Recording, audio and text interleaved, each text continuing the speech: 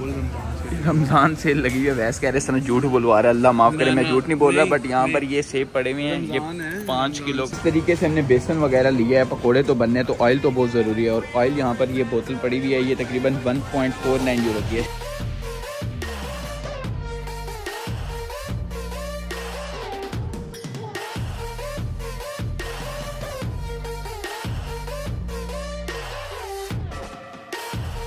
Hello जी अस्सलाम वालेकुम and welcome back to my new vlog तो सीन कुछ है कि आज जुम्मे का दिन है और गर्मियाँ जो हैं वो वापस आ गई हैं। आज धूप भी काफ़ी कड़क किस्म की निकली हुई है। लेकिन इन सब के अलावा रमज़ान जो है वो बिल्कुल करीब है। यानी कि आज से तीन दिन बाद पहला रोज़ा रखा जाएगा और उसके लिए आज हमने ग्रॉसरी करनी है। ग्रॉसरी में हमने बहुत सारी चीज़ें लेनी है।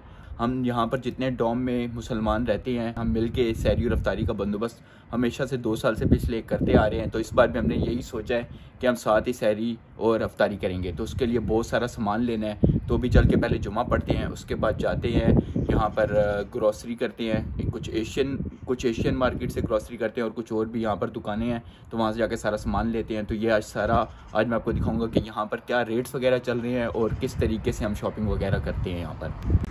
तो बॉयज़ ने भी हमें ज्वाइन कर लिया है एज़ ऑलवेज अवैस जिसने अपना काफ़ी टाइम निकाल कर हमारे साथ रमज़ान गुजारने का प्लानिंग किया है क्योंकि ये इसको इंटर्नशिप वगैरह मिल गई थी और ये दूसरी सिटी में मूव हो गया था। तो अभी अभी सिर्फ़ रमज़ान के लिए वापस आए बिल्कुल। के लिए।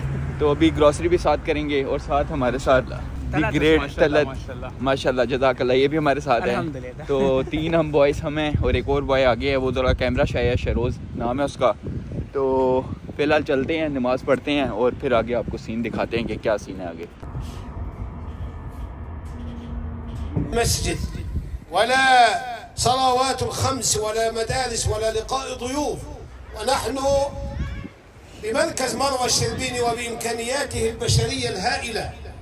तो अल्हम्दुलिल्लाह अभी जुम्मा पढ़ लिया हमने और जुम्मा पढ़ते साथ ही हम निकल आए हैं। इधर यहाँ पर एक अरेबिक शॉप है दमस्कस।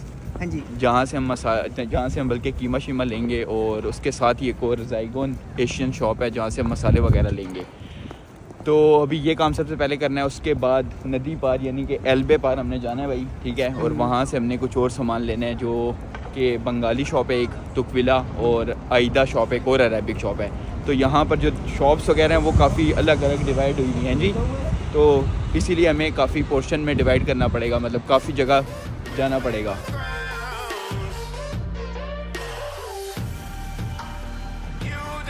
अभी सबसे पहले हम आ गए यहाँ पर जैगोन शॉप पे। ये एशियन शॉप है और यहाँ पर काफ़ी चीज़ें हैं। ये भी फ्रूट्स और वेजिटेबल्स के सेक्शन में हैं हम और उस साइड पे मसाले और और काफ़ी चीज़ें हैं। तो अभी हम आ गए यहाँ पर दालों के सेक्शन में, क्योंकि ये भी हमने लेनी है, और ये चना दाल है 500 ग्राम, दो यूरो तीस सेंट की है।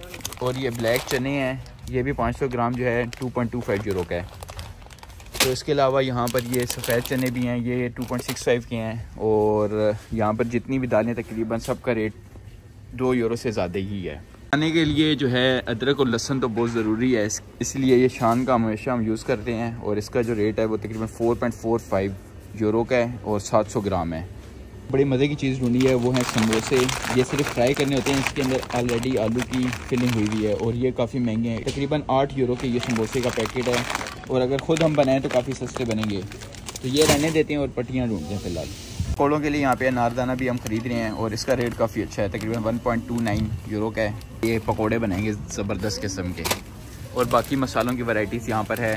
जिस तरीके से इलायची भी है यहाँ पर लौंग भी है और सारी चीज़ें हैं। और तकरीबन सारों के रेट जो है वो वन यूरो से ऊपर ही है। तो इन मसालों के अलावा जो मेन मसाले होते हैं जिस तरह शान के नेशनल के जो के जो कि हांडी में एक मुनफरद जायका देते हैं। मैं कहता हूँ जान है अंडी जान है। तो अभी यहाँ पर काफ़ी मसाले पड़े हुए हैं बिरयानी चिकन वगैरह और यहाँ पे काफ़ी मसाले लेने हैं। और इनका जो रेट है तकरीबन एक यूरो बीस सेंट के ही हैं। टिक्का शिक्का भी पकड़ दो तीन टिक्के पकड़। ठीक है। एक टिक्का बहुत। और दो बिरयानियाँ पकड़। एक टिक्का एक तंदूरी ले ले। एक टिक्का एक तंदूरी। भी हमने मसाले ले लिए ढेरों ढेर अदरक लहसुन पेस्ट और ये सारे मसालों से हमने भर लिया है। तो इसके अलावा भी हमने जो मेन सामने एक दुकान है, अरेबिक दुकान है, वहाँ से हमने कीमा वगैरह लेना है और वहाँ से देखते हैं अगर कोई और चीज़ भी मिलती है, चावल चावल आटा शाटा नहीं तो फिर हम एल्बे पार जाएँगे और वहाँ पर आटा, चावल और वहाँ पर काफ़ी अच्छी और सस्ती चीज़ें मिली, फिर वहाँ से हम लेंगे। पर हमने भिंडी भी ढूंढ ली है एक शॉप पर और ये काफ़ी ज़बरदस्त है। इसके रेट भी दो यूरो का होगा। और साथ साथ हमने ये पट्टी भी ख़रीदी है टपाल दानेदार की, जो कि सात यूरो में है और ये तकरीबन साढ़े चार सौ ग्राम है। इस तरीके से एक दो और मसाला और चिकन क्यूब्स वगैरह। अभी ये सारे मसाले और कुछ सामान ले लिया है और जो भी मेन सामान है, जिसमें हमारे पास तकरीबन जो चावल चावल हैं और कीमा वगैरह वो भी लेना है यहाँ पर। चिकन वगैरह तो आगे से लेंगे ना। तो अभी अरेबिक शॉप जा रहे हैं दमास्कस जो कि रेस्टोरेंट में काफ़ी मशहूर है।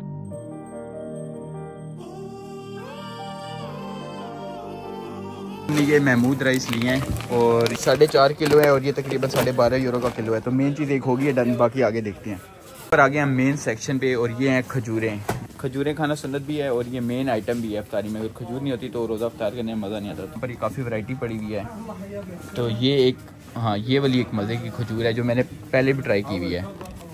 ये डन करवा।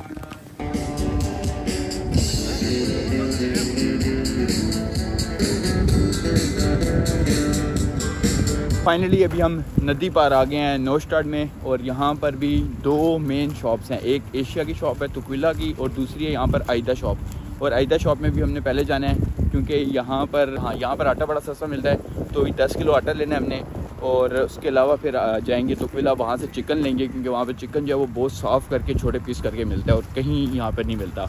तो ये दो चीज़ें मेन है। उसके बाद हमने जाना है कॉफरेंट जहाँ से हमने दूध, दही ऑयल और बहुत सी ऐसी चीज़ें हैं जो होती हैं ज़रूरियात की वो लेनी है। तो बहुत थक गए हैं मज़ा बड़ा आ रहा है। रमज़ान की एक तो खुशी एक्साइटमेंट अलग होती है तो ये सब कुछ करना भी ज़रूरी होता है। तो बस अल्लाह पाक हमारी नेक काविशों को इबादतों को आने वाले आगे पूरा करें। आमीन।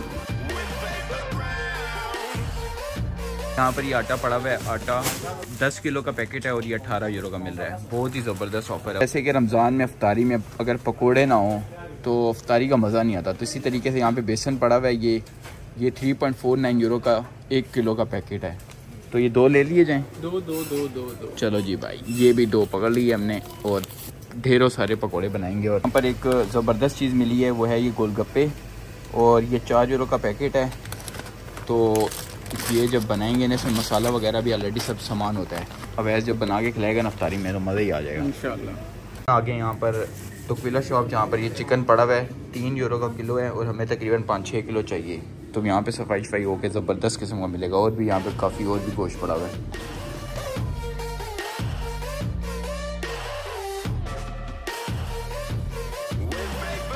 भाई ये सारी हमने मोटी मोटी ग्रोसरी कर ली थी और अभी जो कि छोटी मोटी और मेन ग्रोसरी है जिसमें दूध दही चीनी और अंडे। अंडे हो गए और मतलब इस तरह की ढेरों ढेर चीज़ें जो रहती हैं वो भी जाके लेनी है। कॉन्फिडेंट से बिल्कुल हमारे डॉम के सामने है। सबसे पहली चीज़ हमने मैदा ले रहे हैं। ये दो किलो का है तकरीबन वन पॉइंट वन नाइन का है। और ये साथ चीनी है।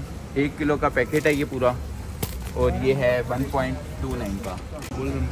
रमज़ान सेल लगी हुई है वैस कह रहे सर झूठ बुलवा रहा है। अल्लाह माफ़ करे मैं झूठ नहीं बोल रहा बट यहाँ पर ये सेब पड़े हुए हैं। ये पाँच किलो का ये पूरा सेब का पैकेट है जो कि छः यूरो में मिल रहा है तो एक ये भी उठाते हैं। और यहाँ पर ये प्याज बड़े ज़बरदस्त मिल रहे हैं तीन किलो तीन यूरो का। तो ये दो पैकेट यानी कि छः किलो हम ये ले रहे हैं ताकि सालन शालन जो है जो भी चीज़ बनाए तो ज़बरदस्त भरपूर किस्म की। और वैसे भी जब अराई साथ हो तो प्याज तो बहुत ज़रूरी है। यहाँ पर हमने एक और चीज़ ढूंढी है बड़ी ज़बरदस्त वो है आलू और ये चार यूरो का तो पाँच किलो जो है ये पूरा पैकेट है बंडल। ये भी देख रमज़ान सेल पे हैं। यार ये वाकई मानो ना मानो ये सारी जितनी बेसिक बेसिक चीज़ें थी सारे रमज़ान सेल पे। यहाँ पे टमाटर भी आज सेल पे लगे हुए हैं। हाँ ये भी आज सेल पे लगे हुए वैसे दो यूरो के होते हैं आज वन पॉइंट टू नाइन का ये मिल रहा है। और सेवन फिफ्टी ग्राम दो तीन उठा ले मेरे ख्याल से ये भी। इस तरीके से हमने बेसन वगैरह लिया है पकोड़े तो बनने तो ऑयल तो बहुत ज़रूरी है। और ऑयल यहाँ पर ये बोतल पड़ी हुई है ये तकरीबन one point four nine euro की है। इस पर सेल नहीं लगी हुई लेकिन ये वैसे ही प्राइस बड़ी मुनासिब थी तो दो तीन उठा ले लीटर। मेन सामान कुछ हमने ले लिया है। और बाकी जो है दही इधर पड़ा हुआ है।